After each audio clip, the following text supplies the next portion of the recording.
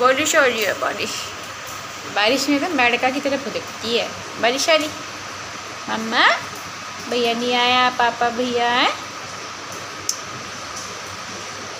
तो तो गाइज़ यहाँ पे मौसम अच्छा था तो प्रेस के लिए कपड़े रह रहे थे बच्चों के हस्बैंड की।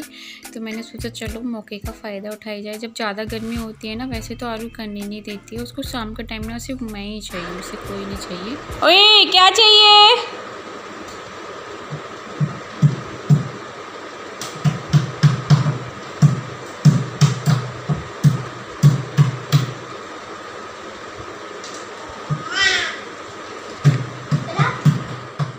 देखिए हमारी कल्लू देखो, वीडियो बनवा रही है सुबह सुबह। और ये अभी आज सुबह सुबह घूमने गई थी। या इसके घर में पैर नहीं रखते हैं। बर्तन साफ़ कर रही है। कल मेरा एकादशी का व्रत था तो आज सुबह से मेरी हवा निकल गई। और मुझे कुछ चला भी नहीं जा रहा रास्ते में। अनमोल की आज छुट्टी है। स्कूल में आई फ्लू चल रहा है तो ये स्कूल नहीं जा रहे हैं। और आज हमारे यहाँ दाल बन रही है, और मैंने अपने लिए रायता बनवाया, क्योंकि मेरी खूब हो गई। और यहाँ पे बैठ गई फिर मैं कपड़े वॉश करने के लिए। तो एक बार ना पहले ही जो वीडियो पे मुझे किसी ने कमेंट करा था कि आप काफ़ी साबुन खर्च करते हो तो यार, मैं नहीं करती मेरे से शुरू से वैसे होता है, इस चीज़ से मैं खुद खुश हूँ और मेरे ससुराल में माइके भी बोलती कि मैं बहुत सारा साबुन यूज़ करती अब बहुत सारे होते ही है कंट्रोल भी करने की कोशिश की है। तो यहाँ पे सारे कपड़े वपड़े तो मैंने जो छोटे बड़े थे, वो सारे वॉश कर दिए थे। अब बारी थी बेड शीट की। तो बेड शीट को मैं क्या करती हूँ ना, पहले इसे मतलब टब वगैरह में उसे ना रख देती हूँ शरफ वरफ डाल के जो भी यूज़ करती हूँ।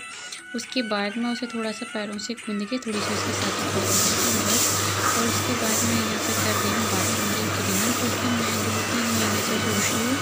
पता है छोटे बच्चे हैं ना जब घर में ये हो जाता है कि उसको मुँह दे उसको मुँह दे तो ये नीचे नीचे ना ज़्यादा एरिया गंदा हो जाता है, ये बाल के लिए तो दिखता है। फिर मैंने ना इसमें थोड़ा लाइट और थोड़ा हार्पिक और थोड़ा सा शैम्पू शैम्पू कोई भी हो, ये तीनों चीज़ मिक्स है और कैसी भी टैल हो ना, सड़ भी रही हूँ ना आपके घर की टैल तो वो भी चमक जाएँगी।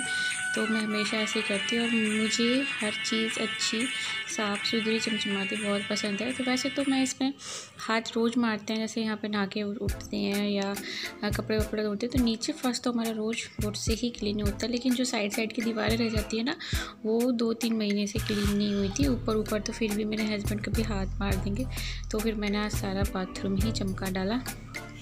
थोड़ा टाइम लग गया अनमोल की भी छुट्टी थी तो मैंने कहा चलो आज अनमोल की छुट्टी है तो फिर उसके बाद मैंने जो टब बाल्टी थी, वो सारे वॉश कर करके रख दूँगी, ताकि इनमें पानी भर दूँ, फिर मैं जाऊँगी नहाने के लिए। एंड गाइस आप देख लीजिए कितना सुंदर बाथरूम लग रहा है ना कितना साफ़ सुथरा है ना।